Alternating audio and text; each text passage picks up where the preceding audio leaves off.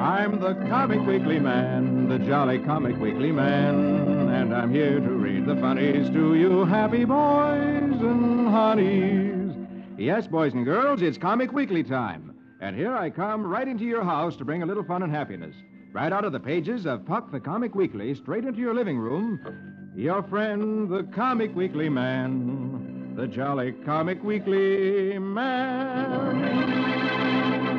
Hello, hello, hello. Hello, hello, hello. Well, little Miss Honey, how are you today? Oh, I'm just fine, and I'm so excited. What for? Well, Halloween is going to come, and I've got my jack o' lantern all fixed up, and I'm going to scare people. What are you going to do if people scare you?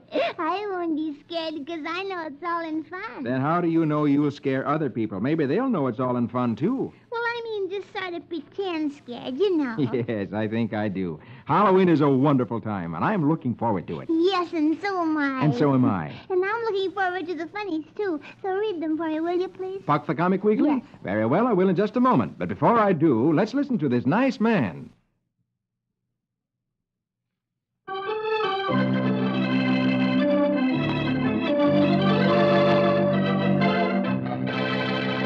Now here we go with Puck the Comic Weekly. Top of the first page, Hopalong Cassidy. Magic words for the music, please. Very well, my lady. Stakes guns blazing as he thunders along. Give us music for Hopalong.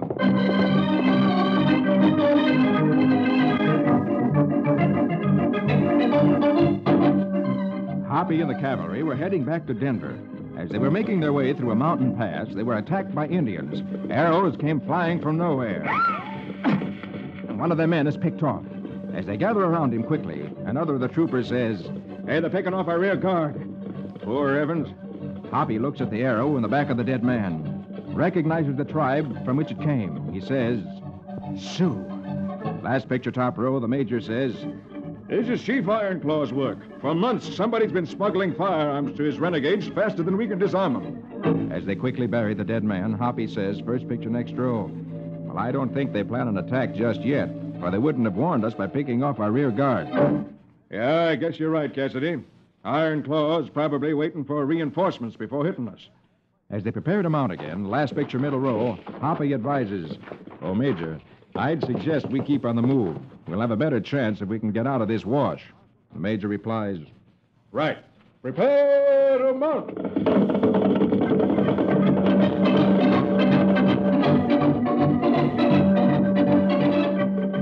They continue on their way, sometime later, first picture bottom row, another arrow cuts through the air. Ah! One of their troopers is wounded in the shoulder.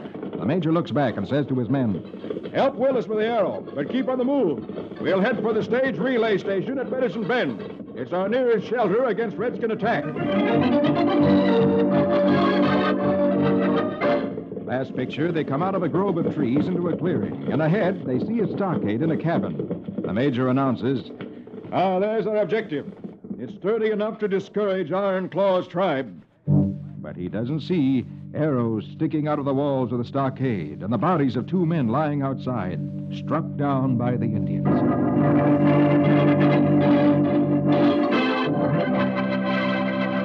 Ooh, isn't that terrible? Those Indians have been there, too. Yes. Doesn't look as though there's much room for the troopers to find protection. And, and Hoppy said the Indians are waiting to get more enforcements. Well, that means more of them. Yes, there's plenty of danger in this adventure. We'll find out more about it next week. Now? Oh, now let's turn over the page because I know Prince Valiant will be there. Very well, over the page we go. And and you remember last week when Prince Valiant came home, he found out he was the father of little baby twin girls, and they were so sweet. Yes, and you remember also that Val's son, Prince Arn, was very unhappy because no one paid any attention to him. Yes, and that's very wrong. Let's read now and see if they, they make him happy. Very well, here we go with Prince Valiant in the days of King Arthur. Hackett, Brackett, Grey Malkin, and Quince. Music romantic for a fair, fair prince.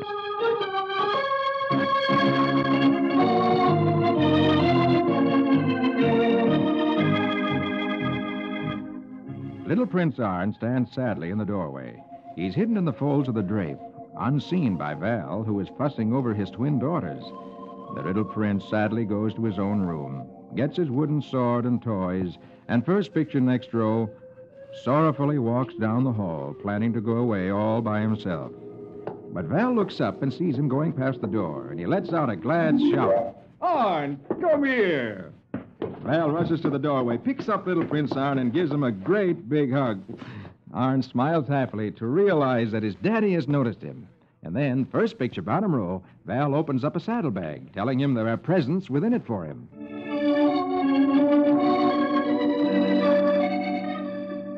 Then Val also gives Aleta lovely presents, for which she gives him a big, big hug, which little Prince Arn thinks is very silly.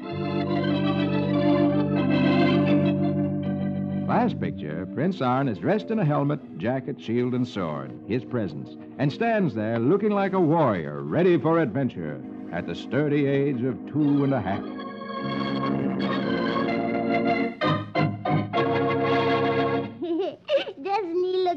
With that helmet's hair just falling down over his eyes? Yes, that's too big for him, but he doesn't think so. Yes, he's so proud that his daddy pays attention to him. I said that Val would be nice to him. You did, and you were right. Now let's go over the page. All right. Oh, look, here's Donald Duck. And we won't waste another second. Here we go with Donald Duck. Say the magic words with me. Squeeze 'em, squeeze 'em, squiddy chicka chack. Let's have music to a quack quack.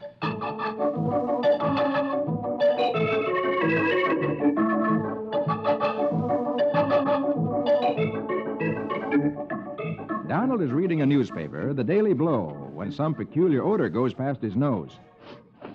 Ah, boy. He looks in the fireplace, second picture, and sees smoke instead of going up the chimney coming into the room. And Donald exclaims, Uh-oh. I'll bet that blasted stork's back again. He dashes outside. Puts a ladder up against the house. Dashes up the ladder, fourth picture. And sees the stork nesting on the chimney, blocking it so the smoke can't go out. And Donald exclaims, Oh, that's his eyes pop. he dashes down the ladder, saying, This time I'm going to take drastic measures. he gets his gun. First picture, bottom row, dashes up the ladder again. The stork sees Donald with a gun and hops off the nest, looking very sheepish, which isn't easy for a stork to do. And just as Donald puts up his gun to shoot the stork, third picture, bottom row, he hears behind him, and Donald goes, lowers his gun, realizing he can't shoot the mother of hungry little birds. Last picture, we see the stork on her nest in front of the fireplace in Donald's living room. And the little storks peep. And, Di- and Dewey, Donald's nephew, says happily, Wow, starting a stork farm, huh? Boy, now I've heard everything.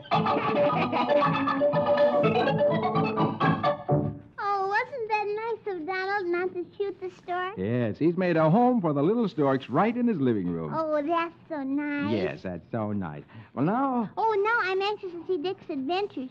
Because you remember last week, Dick was captured by the pirates and locked up in jail with other prisoners that the pirates had captured. yes, I remember very well, and the pirates had captured the Americans from the ship Philadelphia. And the pirate captain was going to kill some of the prisoners, and I wonder what's going to happen to Dick. Well, let's read Dick's adventures right now and find out. So over the page we go to the very last page of the first section. And here we go with Dick's adventures. Say the magic words with me. Rickety pack a zack a zick. Let's have music for adventurous Dick. Dick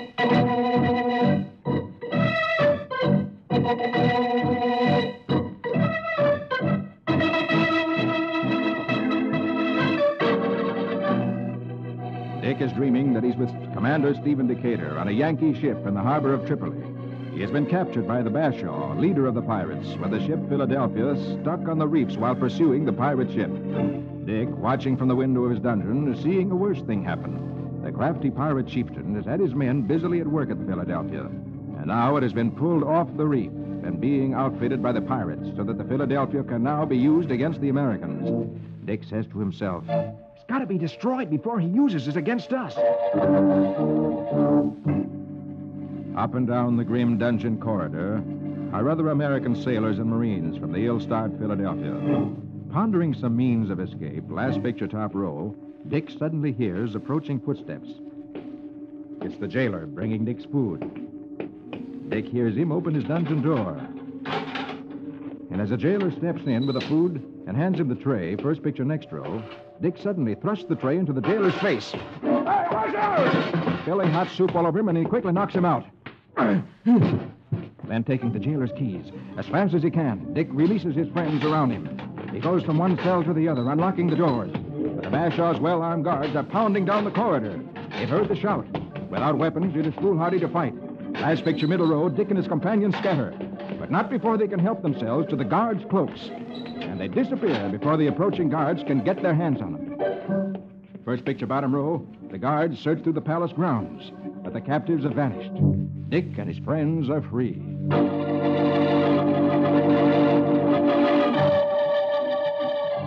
Last picture. An hour later, several miles away, the camel train of Abdul the Trader proceeds with a group of heavily cloaked Bedouins who come from no one knows where.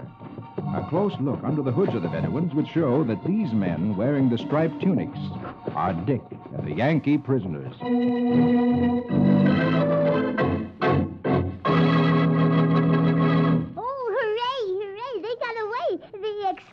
Yes, and if no one asks any questions, maybe by nightfall they can be far enough away to slip back to their ship. Oh, I hope so. Well, maybe we'll find that out next week.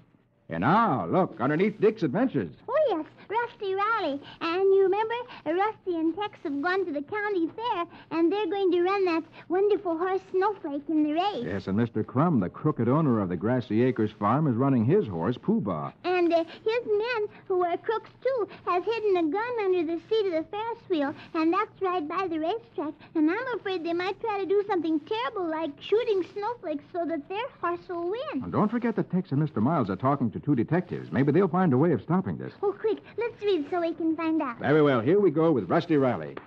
Gallop and run till the road is dusty. Give us music for his horse and Rusty.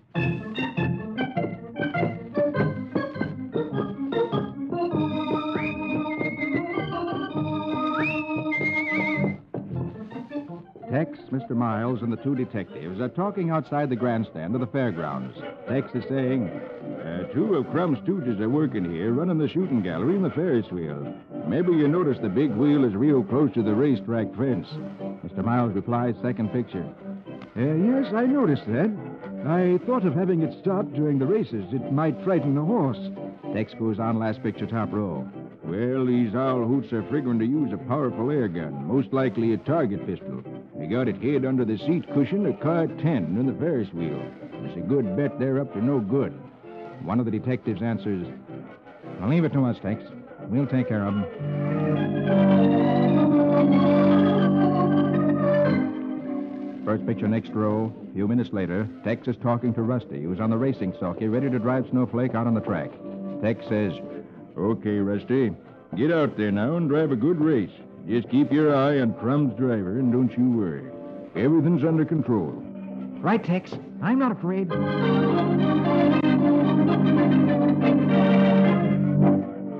Meanwhile, the two detectives head for the Ferris wheel. As they near it, one of them says, third picture bottom row. Hey, hold it, Jackson. Look, they stopped the wheel with car 10 at the top. Jackson answers, Yeah, probably with one of those hoods in it. Hey, come on, I got an idea. He goes on. Last picture, Lewis says, I want you to get that engineer away from that machinery for a few minutes as soon as the race starts. I don't care how you do it, but get him away.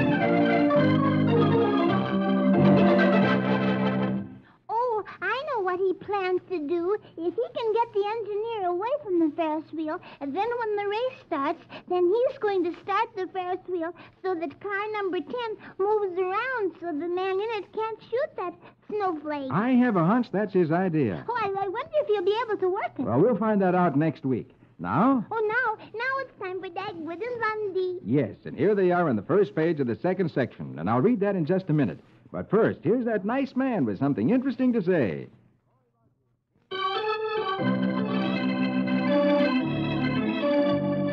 Now, here we go again with Puck the Comic Weekly. First page of the second section, Dagwood and Blondie. Magic words for the music, please. Very well, my lady. Ramafoo, Ramafum, Zim Zam Zombie. Conjure me music for Dagwood and Blondie. The postman comes up Dagwood's walk, drops a letter in the box, blows his whistle like mad. Dagwood in the house hears it and dashes for the door. Says, Mr. Beasley's blowing his whistle like mad. He must have a terribly important letter for me. Postman goes down the street blowing his whistle, Dagwood pokes his hand in the letterbox, last picture top row, saying, What could it be that could make him blow his whistle like that? He tries to pull the letter out, but nothing moves. He tries again. Nothing moves. He yells, First picture, bottom row. First picture, next row. Blondie, help, help! My hand's caught in the mailbox. Blondie dashes out, sees Dagwood's predicament, and asks him how he did it. Dagwood answers, Stop asking questions and pull. He puts his foot against the wall. Blondie pulls and he pushes. Ah, try again. Ah. They try a second time. Try again. And finally, a third time. Ah.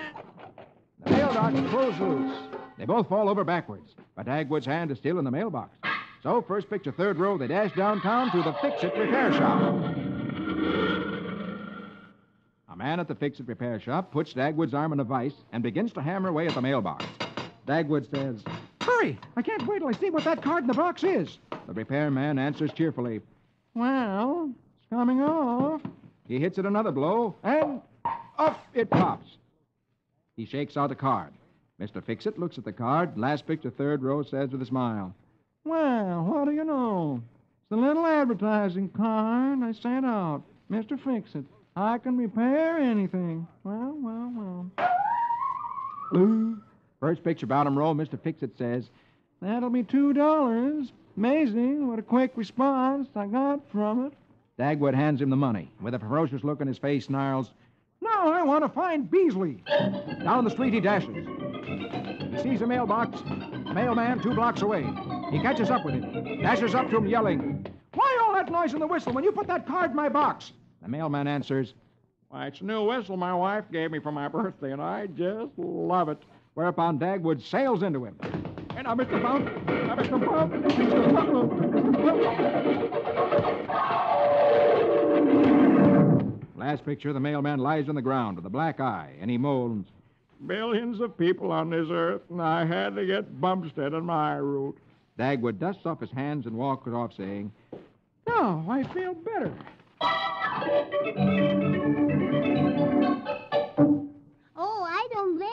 Getting mad at the mailman for blowing his whistle so much for no good reason at I all. don't blame him either.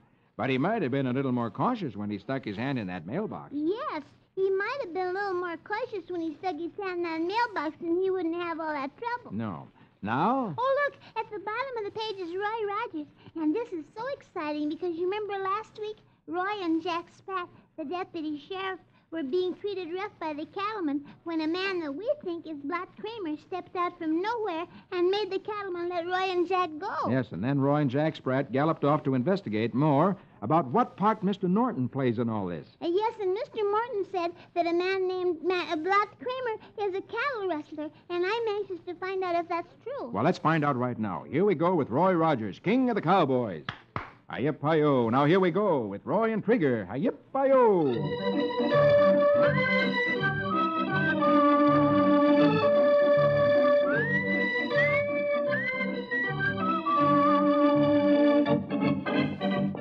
Roy and Jack Spratt head for Blot Kramer's ranch to investigate why the cattleman's consul took it over so quickly after running Kramer out. They pull up in front of the gate leading into the ranch. Find a sign tacked onto it reading, No trespassing, by order of the cattleman's consul. As they stop, Jack Spratt says, second picture, After Brad and Kramer a rustler and run them out of town, they didn't waste no time fencing off his property. Start to open the gate, but the hinges are rusty. They squeak. Last picture, top row, a guard pokes a gun over the bluff above, calling, Halt! Oh, you, Jack Spratt. Can't you read? Even deputy sheriffs ain't allowed in here. Jack Spratt answers, Is that so? Hey, don't I smell cooking? The guard doesn't see Roy, who is behind a rock. Roy slips around behind the guard to sneak up on him while he talks with Jack Spratt. Meanwhile, the old timer who had rescued Roy and Jack earlier comes up from around a curve. First picture, bottom row, he sees what's going on and stops. He says, Well, Norton's guard stopped Spratt and Rogers just when I was hoping they'd snoop around my ranch and learn exactly why Norton's cattleman's consul framed me. Well, I'll fix that. Nobody knows me decked out in these prospector's duds anyway. At this moment, Roy, who has slipped up behind the guard, flips his rope over him. At the same second, the old timer pulls the trigger. Third picture, bottom row, excla- Roy exclaims, Hey, somebody plug the guard. Grab him, Jack. I'm afraid he's done for. Wonder who shot him. Spratt replies, Well, I don't know, but I see a couple of familiar hombres coming, Roy. Clay Norton and Carp Mallory. We're sure in the jam now. The old timer gallops off, Mallory and Norton approach. Last picture. Mallory exclaims, Hey, Norton, look. That old desert rat with one finger missing. The one you reckon is Blot Kramer in disguise. Norton answers, Well, let him go. We got to stop Rogers and Jack Spratt before they find out too much.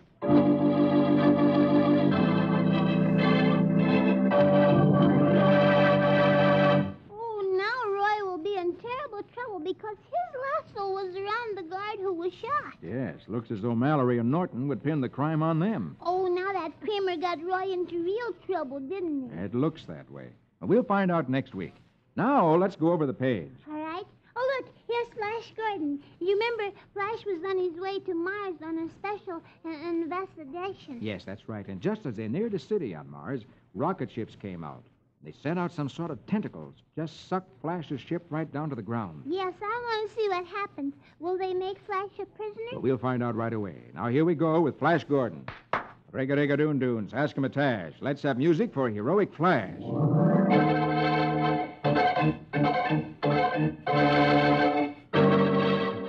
Forced down by the strange spin ships, Flash's rocket is grounded on Mars. The hood of one of the spin ships opens, and a Martian of a very different race from Toxo the pirate gestures for the humans to alight. Flash tests the air, finding it thin but breathable. Last picture, top row, with his hand near his hidden ray gun. Flash watches carefully as the Martian comes close. He touches Dale's hand lightly. Dale tells Flash that she seems to sense what the Martian is saying. He wants to take them to his ruler, Menta. They walk to the Martian's car, get in, and the car goes off. It's a caterpillar job. First picture bottom row, as they speed toward the city in a sand car fitted for desert travel, their guide hands them earplugs. Cautiously, Flash tries a pair. He finds that they are mind senders, which enable the Martians to talk with him. Swiftly, the car approaches one of the gates to the city. As the car rolls through the gate, the Martian guide answers Flash's questions about the planet's ruler. He exclaims, Menta has the greatest brain on Mars. Thus, she is the queen.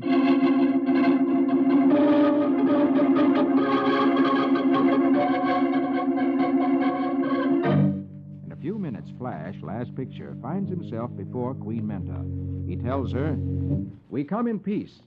Menta stares at him grimly and then tells him to give up their concealed ray guns, or her guards will freeze them instantly if he dares try violence.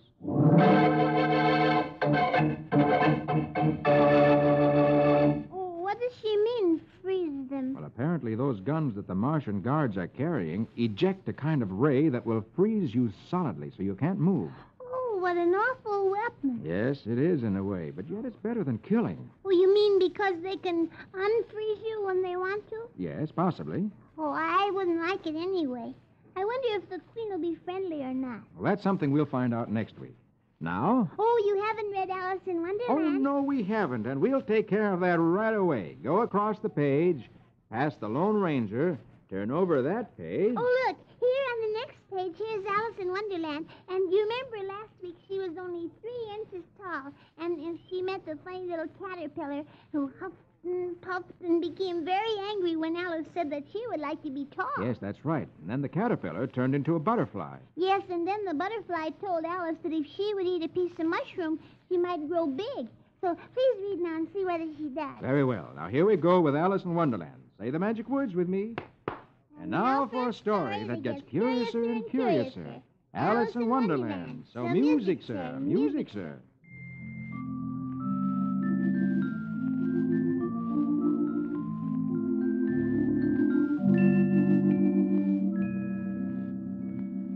Alice nibbles on one piece of the mushroom. Instantly, she grows skyward. She grows so tall, her head goes right through the trees and towers above it with a bird's nest on her head. The mother bird flies off the nest, saying, What the very idea? Huh. Spend all my time laying eggs, and then you come along. Alice exclaims, But, but I. and Alice puts the nest back in the tree, and the mother bird flies back to it. Third picture, Alice bites into a second piece of mushroom and shrinks down. and regains her normal size. Alice exclaims, There, I'm myself again. But I'd better save these pieces of mushroom. and then she goes in search of the white rabbit.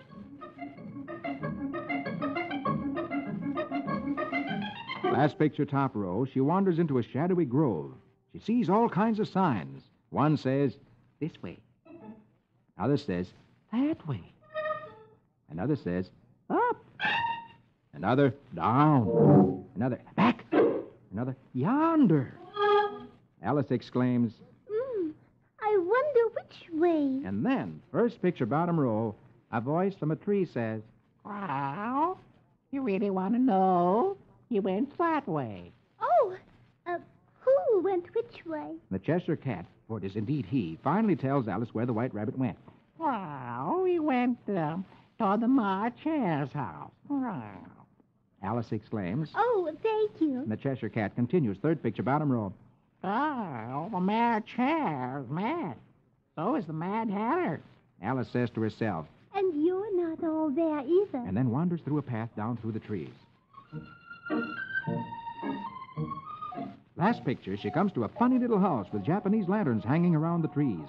Alice exclaims, My goodness. I wonder what will happen to me here. but despite the Cheshire Cat's warning, Alice hurries toward the odd, thatched house of the March Hare.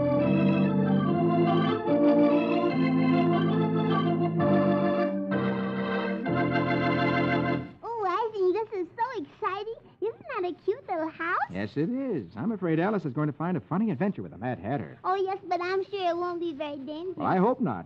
Oh, I'm so anxious to find out what it is. Well, that's something we'll find out next week. Now, that's all the time I have. But before I go, here's that nice fellow with some more interesting information.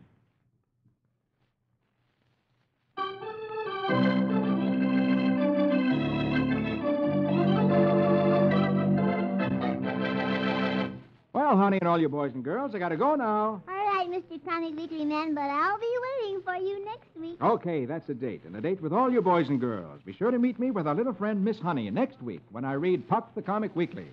For I'm the Comic Weekly Man, the jolly Comic Weekly Man. I'll be back to read the funnies to you happy boys and honeys. Don't forget, boys and girls, see you all next week. Your friend, the Comic Weekly Man, the jolly Comic Weekly Man. Música